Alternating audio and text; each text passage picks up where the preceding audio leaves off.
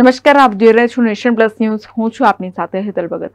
કલકત્તાની ઘટનાને લઈને resident doctors છ દિવસ સુધી હડતાળ બાદ હડતાળ પૂર્ણ કરી ફરી કામે લાગ્યા છે. પરંતુ વડોદરાની સાજી હોસ્પિટલના ગોત્રી મેડિકલ કોલેજ અને અન્ય બે ખાનગી યુનિવર્સિટીના યુજી ઇન્ટર્ન અને રેસિડેન્ટ તબીબોએ આજે પણ વિરોધ નોંધાવ્યો હતો.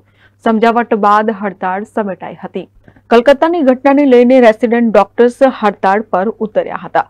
રેસિડેન્ટ ડોક્ટર્સ છ દિવસ સુધી હડતાળ યથાવત રહી હતી, જે બાદ તબીબો હડતાળ પૂર્ણ કરી ફરી કામે લાગ્યા છે.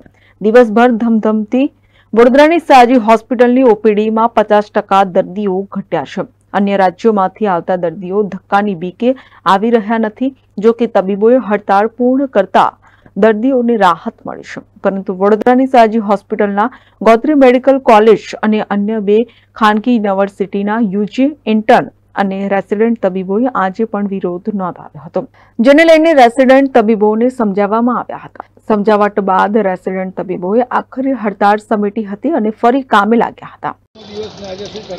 સાતમો દિવસ સાયકલો હતો. અત્યાર સુધી અમારા પ્રશાસનના વડાઓ વડે કોઈ વર્બલ કે રિટર્ન અશ્યોરન્સ ન મળેલ હોવાથી એસએસજી હોસ્પિટલના મુદ્દે સિક્યોરિટી ગાર્ડની સંખ્યા વધારવા માટે સીસીટીવી વર્કિંગ કરવા માટે, સુરક્ષા સઘનથી સઘન બનાવવા માટે અમે પ્રયત્નો ચાલુ રાખ્યા હતા. આજે અમારા પ્રશાસનના વડા વડે લિખિતમાં અમને આશ્વાસન આપવામાં આવ્યું છે કે સિક્યોરિટીની સંખ્યા અને અને જે લોકલ પ્રશ્નો છે એ આગળ લઈ જવામાં આવે.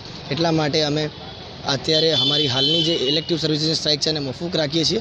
ગુજરાત સરકારને આ સુધી અમારા અવાજ અને પ્રશ્નો પહોંચે એના પ્રયત્નો કરી રહ્યા છીએ હા આજથી અડતાલ અમે બંધ કરેલી છે.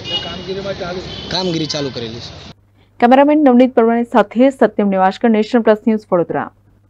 સમાચારોનો સતત અપડેટ મેળવવા માટે અમારી નેશન પ્લસ ન્યૂઝની યુટ્યુબ ચેનલને સબસ્ક્રાઇબ કરો બેલ આઇકન દબાવો અને જોડાયેલા રહો ફેસબુક ઇન્સ્ટાગ્રામ અને ટ્વિટર પર.